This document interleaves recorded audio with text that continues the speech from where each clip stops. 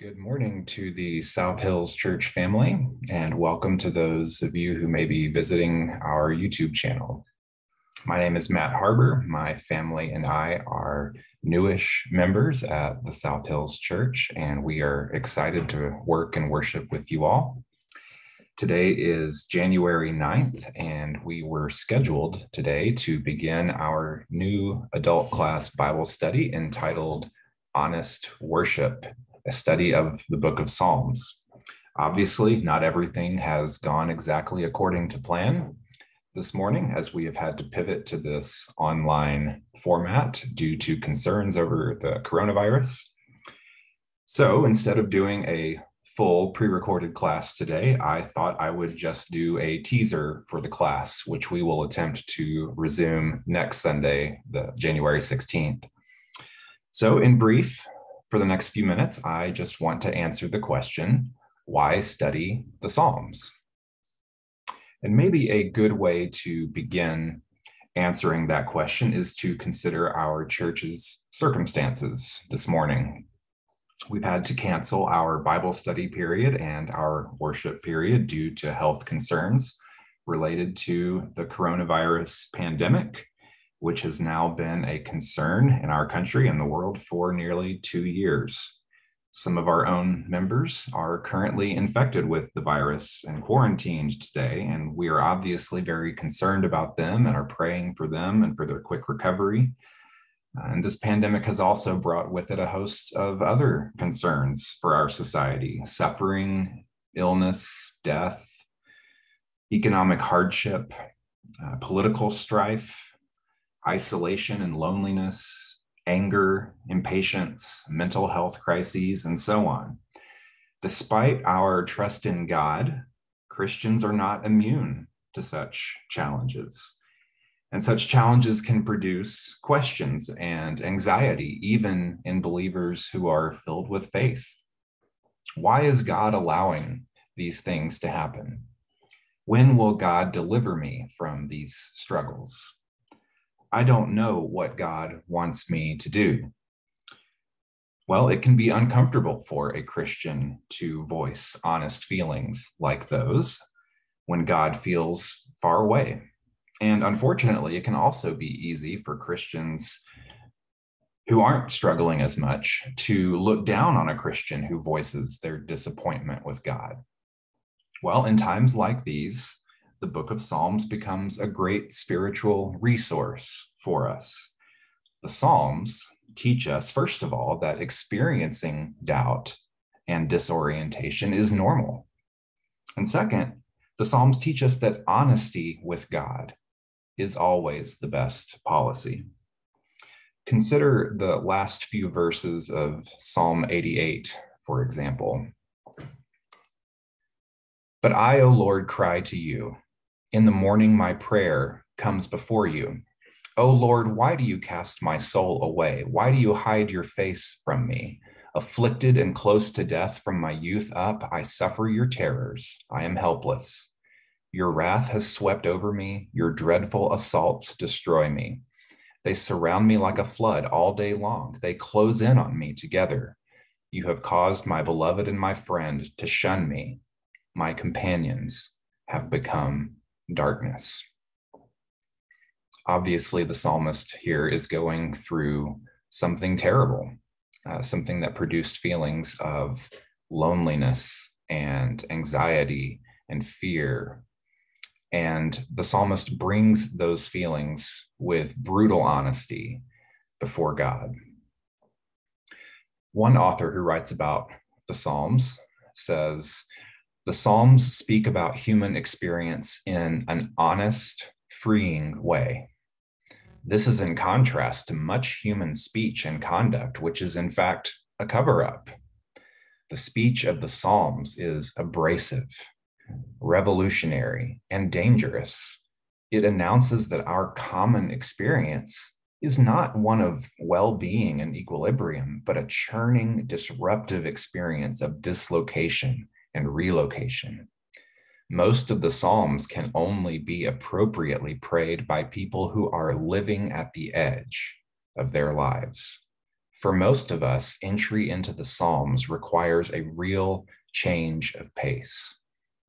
In other words, the Psalms are raw and they are honest and they address honest feelings toward God. And that can be a real change of pace for those of us who are uncomfortable baring our souls in that way. But exactly for that reason, they're also a great spiritual help. You may remember from the book of Romans, the apostle says, Apostle Paul says, likewise, the Spirit helps us in our weakness. And this next statement that Paul makes is so interesting. For we do not know what to pray for as we ought. Your translation might say, we don't know how to pray as we ought. But what's the solution to that? What is the solution when our words come up short as Christians? He says, The Spirit Himself intercedes for us with groanings too deep for words. And this passage from the Apostle Paul reminds me of something that Jesus' disciples asked him in the Gospel of Luke. And you probably remember this as well in Luke chapter 11, verse 1. Now, Jesus was praying in a certain place and when he finished, one of his disciples said to him, Lord, teach us to pray, as John taught his disciples. Teach us to pray. So, both this passage and the passage in Romans suggest that there are times that we, as God's people, don't know what to say to God, that our feelings and our experiences are overwhelming, and words can fail us in those moments. There was a German Christian uh, named Dietrich Bonhoeffer during World War II, who was actually uh, martyred by the Nazis mere weeks before the end of World War II. And before he died, uh, he wrote these words about prayer and about the Psalms. He's reflecting on what the disciples said in Luke chapter 11, verse 1 Lord, teach us to pray. If they're asking Jesus how to pray, that must mean Bonhoeffer says. So we must learn to pray. In other words, prayer doesn't always come naturally. We must be taught how to pray. The child learns to speak because his father speaks to him. He learns the speech of his father. So we learn to speak to God because God has spoken to us and speaks to us. By means of the speech of the Father in heaven, his children learn to speak with him. Repeating God's own words after him, we begin to pray to him. We ought to speak to God, and he wants to hear us, not in the false and confused speech of our heart, but in the clear and pure speech which God has given or spoken to us in Jesus Christ. And Bonhoeffer goes on to say, thus, if the Bible also contains a prayer book, and he, he's talking about the Psalms, we learn from this that not only that word which he has to say to us belongs to the word of God, but also that word which he wants to hear from us. Because, Bonhoeffer says, it, that is the prayers of the Bible, especially the Psalms, is the word of his beloved Son. This is pure grace that God tells us how we can speak with him and have fellowship with him. We can do it by praying in the name of Jesus Christ. In response to the request of the disciples, Jesus gave them the Lord's Prayer, and all the prayers of Holy Scripture, including the Psalms, are summarized in the Lord's Prayer. So, in other words, we have to be taught how to pray. Our hearts don't always lead us to the right words, as the Apostle Paul reminded us. And in such moments, the Psalms can teach us how to pray. They can give us the right words, which are not only the words that David and other ancient Israelites spoke to God, but they're also the words that God has given back to us to pray as Jesus himself prayed. Because remember that Jesus himself, in his darkest moments, in his darkest hours, including the moment of his death, when he needed to speak to his Father, he chose the words of the Psalms. Remember in Matthew chapter 27, as Jesus hangs on the cross, about the ninth hour, Jesus cried out with a loud voice, saying, Eli, Eli, lema sabachthani. That is, My God, my God, why have you forsaken me? And Jesus wasn't making up those words. Jesus was drawing upon the words of David all those centuries before. My God, my God, why have you forsaken me? Why are you so far from saving me from the words of my groaning? David took that honest, Jesus took that honest speech of David and made it his own. And so we too can do the same thing through the words of the Psalms, knowing that we pray them not by ourselves, but also with our Lord Jesus. Similarly, the Gospel of Luke records that as Jesus is about to die, he calls out with a loud voice, Father, into your hands I commit my spirit. And having said this, he breathed his last. And again, those were not just Jesus' own words. Those are the words of the psalmist in Psalm 31 Into your hand I commit my spirit.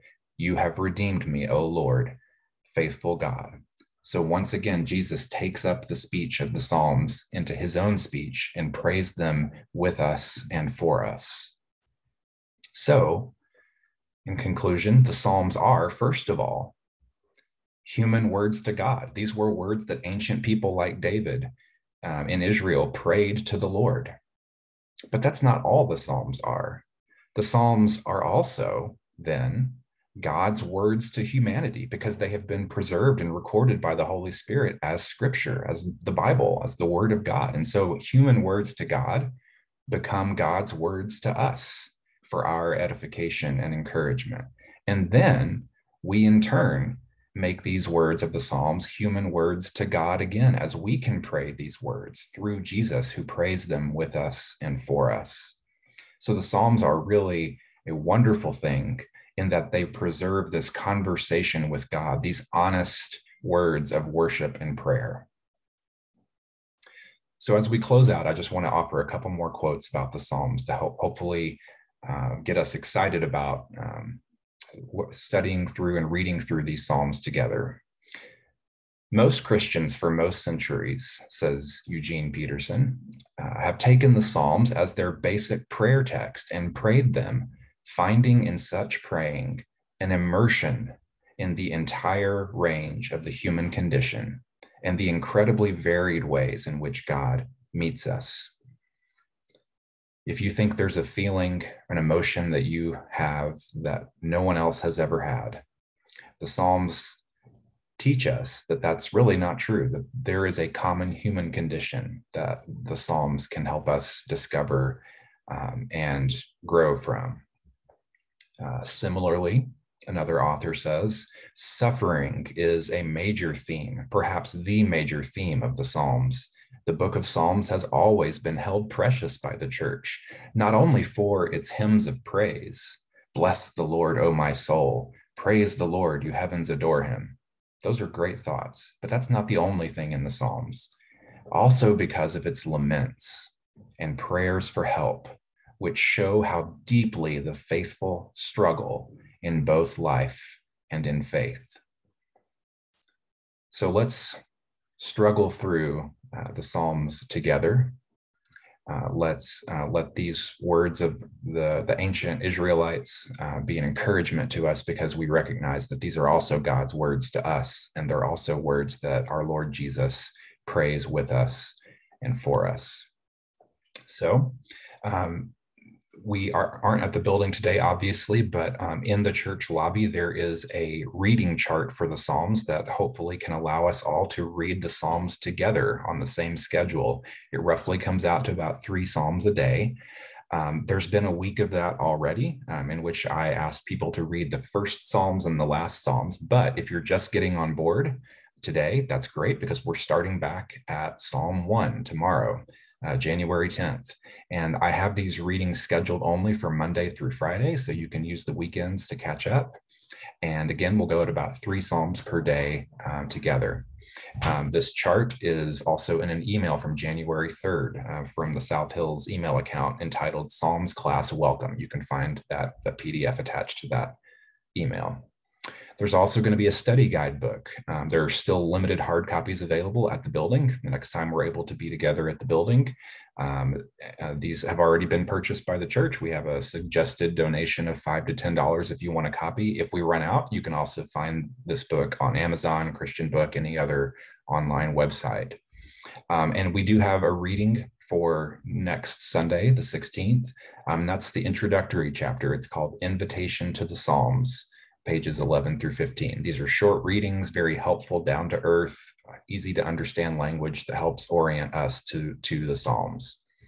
And finally, um, on the other side of the Psalms reading chart um, in the church lobby, there is a syllabus for the class. So if you want to look ahead and know what we're going to be talking about um, and get an idea of what readings we'll be doing, uh, you can pick that up. This is also available as an attachment in that email from January 3rd.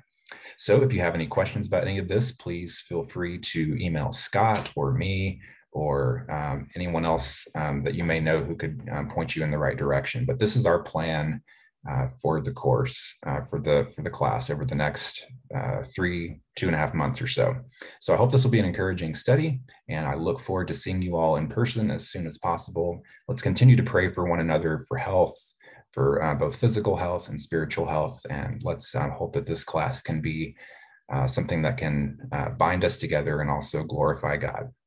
Thank you all for your attention, and Lord willing, I will see you next week.